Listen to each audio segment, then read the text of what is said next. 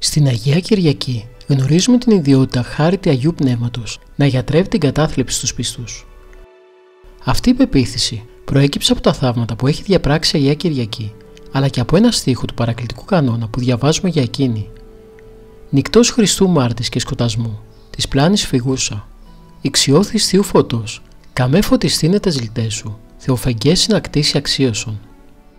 Η αναφορά αυτή προσδίδει στην Αγία Κυριακή το κατόρθωμα να πιστέψεις τόσο πολύ στο Χριστό, όπου διέφυγε από κάθε ψυχικό πόνο και κάθε πλάνη που τον προκαλούσε. Άλλωστε το τέλος της είναι χαρακτηριστικό της αγιότητάς της. Τη στιγμή που ο Δήμιος ετοιμαζόταν να την εκτελέσει, η Αγία Κυριακή προσευχήθηκε και άγγελος κυρίου πήρε την ψυχή της για να την παραδώσει στον υφείο Χριστό. Δεν πρόλαβε κανείς να την εκτελέσει. Την Αγία Κυριακή επικαλούνται χιλιάδες πιστοί κάθε φορά για να γιατρέψει κάθε ψυχικό πόνο και την κατάθλιψη. Πάντα βέβαια, χάρη του Αγίου Πνεύματος. Παναγία Τριάς, ελέησον ημάς. Κύριε Ιησού Χριστέ, ελέησον με. Υπεραγία Θεοτόκε, σώσον ημάς.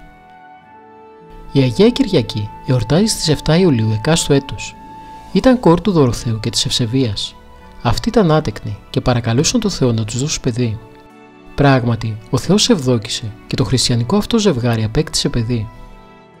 Γεννήθηκε η μέρα Κυριακή, γι' αυτό και της έδωσαν το όνομα Κυριακή.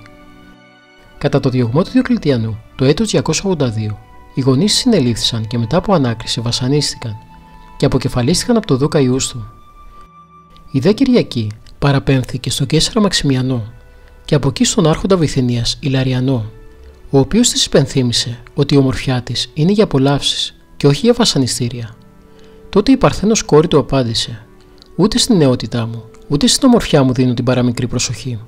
Και τα λαμπρότερα από τα επίγεια πράγματα είναι προσωρινά. Όπως τα άνθη και κούφια, όπως οι σκιές. Σήμερα έπαρχε είμαι όμορφη, αύριο μια άσχημη γριά. Να κάνω λοιπόν κέντρο της ζωής μου την ομορφιά μου. Την αξία της όμως την γνώρισα στις ρητίδες που την περιμένουν και στον τάφο που την καλεί. Νόμισες λοιπόν ότι θα κάνω την τερατώδια νοησία, να χάσω την αιώνια λαμπρότητα για να μείνω λίγο περισσότερο στη γη. Γι' αυτό στο ξαναλέω έπαρχε. Είμαι και θα είμαι στη ζωή και στο θάνατο, χριστιανοί. Εξοργισμένος ο Ιλαριανό σκληρά τη βασάνισε και διέταξαν την αποκεφαλίσουν. Αλλά πριν πέσει σπάθη, προσευχόμενη παρέδωσε το πνεύμα της στον κύριο. Απολυτίκιον, ταχύ προκατάλαβε. Κύριον των κύριων και βασιλέα Χριστών, εξ όλης η αγάπη σας. Κυριακή της ψυχής και χέρουσα έθλη σας, όθεν παρθενομάρτης, παρά αυτού δοξαστήσα. Βρεείς της ετοιμόσιν, η αμάτων τη χάρεν, της πάσιν ετουμένη, πτεσμάτων συγχώρησιν.